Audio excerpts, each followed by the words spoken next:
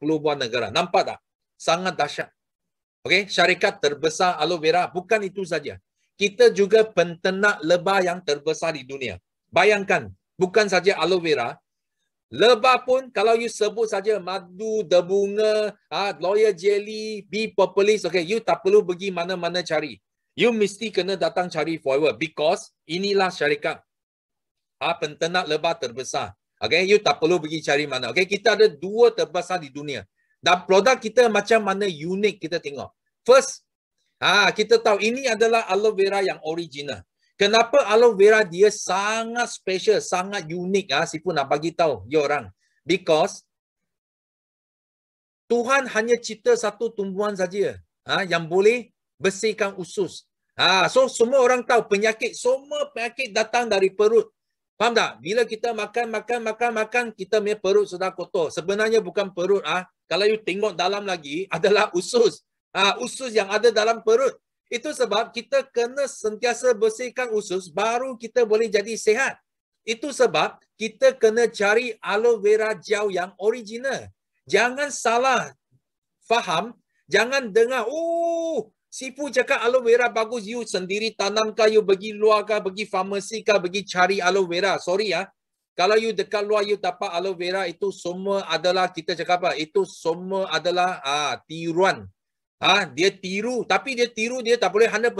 Itu sebab bila you beli, you beli, itu aloe vera, dia tak ada fungsi. Okay, Sifu nak tunjuk satu ah, contoh. Ah, ini ini kawan kita. Okay, kita tengok, ini contoh aloe vera.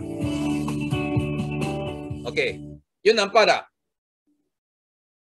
So sini ada dua aloe vera. Satu original, satu yang tiruan. Nampak? Ini aloe vera juice. Whole leaf. Itu tiruan punya. Okey. So sekarang kita buat demo. Kita letak, air dalam dua bekas. Okay? Dua gelas. Kita tengok. Ini macam badan kita. Bersih. So gelas ketiga kita letak yang tiruan. Aloe vera yang tiruan. Ha, kita tengok. So lepas tu kita letak aloe vera original. Okey. Kita nampak. Okay, you nampak dengan mata you sudah jelas. Yang tiruan dengan original dia banyak beza. Tiruan itu sangat jenis.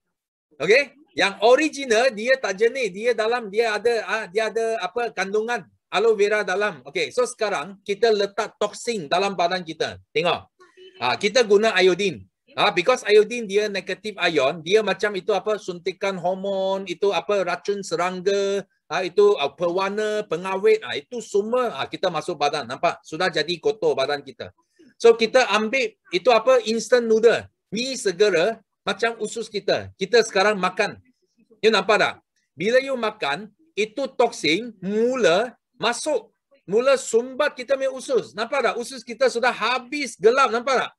Ah, nampak? Ada orang kata apa? Kita minum air boleh cuci. You tengok air boleh cuci tak? Air tak boleh cuci. Okay, kita guna aloe vera tiruan. Tengok boleh cuci tak?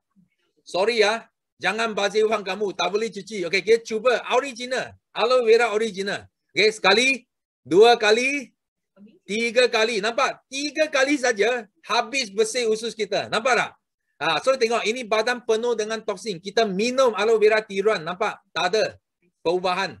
Kita minum aloe vera gel original. Nampak tak? Habis dia balut itu toksin lah, hilang. So ini yang penting. That's why di sini kenapa Sifu cakap, you jangan suka-suka pergi luar cari itu aloe vera yang macam-macam ah, jangan bazir wang kamu. Faham tak?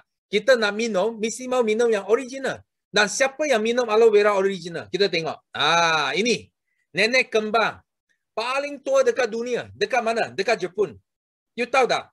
Ini apa? Reporter, dia interview tau nenek kembang ini. Dia tanya, Kenapa ini nenek boleh ya boleh hidup sampai 120 years old atau tak, tak ada sakit. Sangat sehat. So ini nenek bawa apa yang dia minum setiap hari. Dia minum apa? Dia minum aloe vera gel original forever setiap hari. Dan ini sudah jadi satu rahsia kalau kita nak awet muda, kita mesti nak minum yang original. Dan mereka masuk dalam Guinness Record. Faham tak? You tengok, Tuhan cipta manusia paling tua. Ah, ini nenek kembar paling tua dekat dunia. Supaya kita boleh nampak, kita mesti nak amalkan aloe vera. Because itulah jawapan kita nak sehat, nak awet muda. Faham tak? Dan dekat Jepun, produk ini jadi produk kesihatan yang paling laris di Jepun. Ah, dia menang semua produk Jepun tau. You bayangkan ah, orang Jepun ah, dia sangat sangat action betul tak? Dia mana lain lain punya produk boleh jadi number one. Ini produk ah, forever tau. Ah, produk forever sampai ke Jepun ah, dia jadi top one produk. Kenapa? Because orang Jepun dia tak boleh tiru 100%. Itu sebab dia terpaksa beli produk ini juga. Faham tak? Ah, bukan saja manusia tadi, ini kucing paling tua di dunia. Ha, kalau you ada baca, you masuk ah ini uh, Google, you type nama ini, Spike, world's oldest cat. Ah, you jumpa apa? You jumpa BBC News, UK BBC News, you jumpa gambar ini. Ini tuan dia setiap hari ah dia kasih apa? Dia kasih kucing dia minum aloe vera. Dan kucing ini dia hidup sampai 31 tahun. Ah, itu adalah bersamaan dengan manusia 217 tahun. You bayangkan. Okay? Ya, ini Tuhan bukan saja cipta manusia tua. Dia cipta kucing paling tua di dunia. Apa jawapan dia? You nak awet muda, amalkan aloe vera. Itu. Dan jangan salah amal. You kena amal yang original. Itu yang penting. Okay. So dekat Malaysia, selain usus, orang Malaysia banyak mengidap apa? Sakit jantung. Number one dekat Malaysia, ah, top 10 killer. Ah, I rasa more than 10 years, ah, sakit jantung masih number one. Kalau you jumpa orang ah sudden death, ah main badminton tiba-tiba jatuh mati. Ah, atau makan-makan makan tiba-tiba jatuh mati atau tidur-tidur tiba-tiba mati. Okay, semua ini semua adalah heart attack. So heart attack dia berkaitan dengan apa? Salur darah. Ramai orang salur darah dia sumbat. So kalau dah salur darah sumbat, kita mesti kena amal apa tau? Kita mesti kena amal Arctic Sea Fish Oil. Ramai yang tak tahu. Ha, dia suka makan apa? Dia suka makan minyak ikan macam-macam.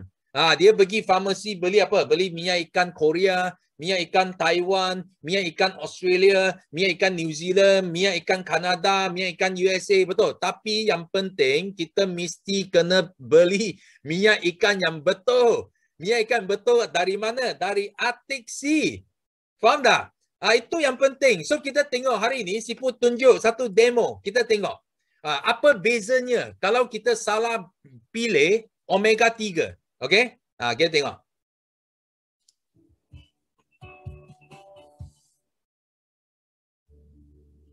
So sini ada dua dua cap minyak ikan. Minyak ikan pun orang tiru. Ha, ini original adalah Sea. Ini Sea forever minyak. Ini dekat luar. Oi, botol besar. Betul tak? Ha, tengok. Okay? Kita sekarang guna dua gelas juga. Ini gelas macam salur darah kita. Okay? Sebenarnya dia bersih. Sangat bersih. So sekarang ah kita buatkan dia sumbat, okay? Kita letak ini apa? Kita letak polystyrene. Polystyrene dia macam kolesterol kita. Dia enam segi ya. Dia umpama kolesterol kita. Okay, so sekarang kita kasih sumbatkan salur darah kita. Tengok. Kita sumbat kedua-dua gas ini. Ah, maksudnya dua-dua salur darah pun kita sumbatkan. Kita tengok. Kita buat perbandingan hari ini. Okay. Nampak? Okay, kita sumbatkan dia. Okey, so sekarang kita nak bakarkan lemak ini. Kita tuangkan air panas. Okey, mari. Tuangkan air panas. Kita kasih bakar dia. Tengok dia hancur tak? Okey, ya orang tengok ada hancur tak? Tak ada hancur. Okey, so lepas itu kita buat apa? Kita cucuk satu omega 3 yang tiruan masuk dalam gelas pertama. Ah, tengok apa? Apa terjadi? Okey? Ah, kita kacau sikit. So lepas tu kita ah potong satu Arctic Sea. Ah, ini forever punya Arctic Sea fish oil dalam gelas yang kedua.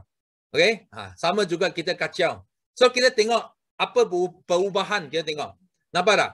Sebelah kiri yang guna omega 3 tiruan tak ada apa perubahan langsung. Tapi dekat kanan you nampak ah, Arctic Sea fish oil terus hancur. Nampak tak? Ha? Itu kolesterol itu apa? Itu terus hancur.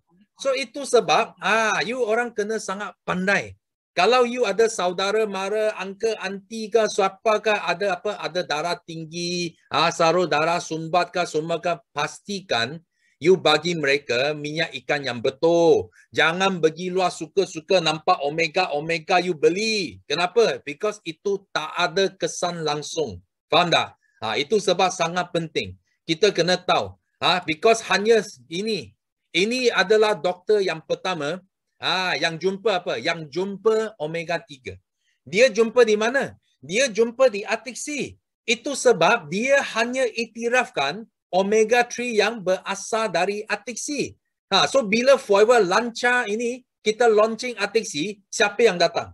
Ha, siapa yang datang? Dr. Dilbert, dia sendiri yang datang ah launching ini Atixi. Nampak tak?